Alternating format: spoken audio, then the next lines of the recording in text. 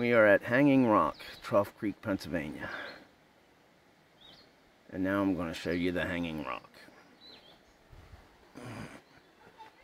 It's a natural formation. It's a rock literally hanging over the edge.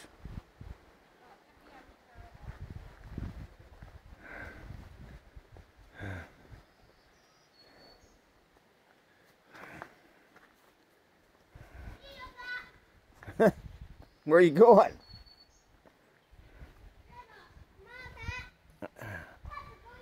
All right.